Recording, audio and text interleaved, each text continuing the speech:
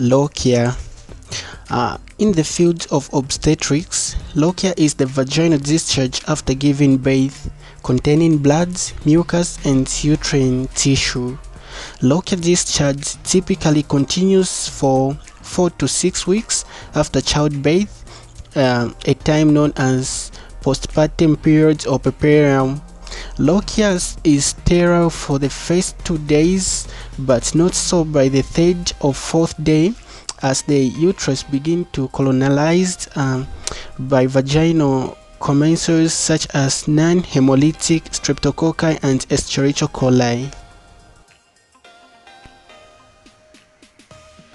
The stages of lochia.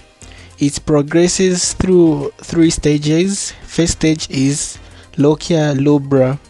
Uh, is the first discharge composed of blood, shreds of fetal membranes, uh, decidua, vernix caseosa, lanugo, and membranes.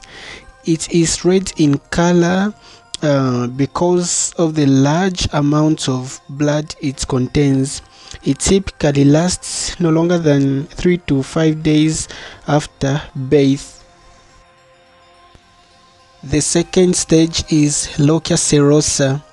Is the term for lochia that has thinned and turns brownish or pink in color. It contains serous exudates, erythrocytes, leukocytes, cervical mucus, and microorganisms. This stage continues until around the 10th day after delivery. Lochia serosa, which persists to some weeks after uh, after birth, can indicate late late postpartum hemo, hemorrhage and should be reported to physician. The last stage is lochia alba. Is the name for lochia once it has turned whitish or yellowish white. It typically lasts uh, from the second through the third uh, to sixth weeks after delivery.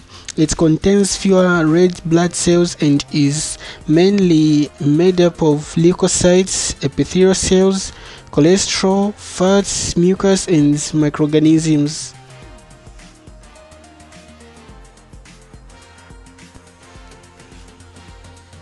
The complications of lochia.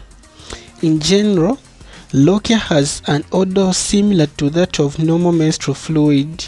Any offensive odor or change in greenish color indicates contamination by organisms such as chlamydia or saprophytic.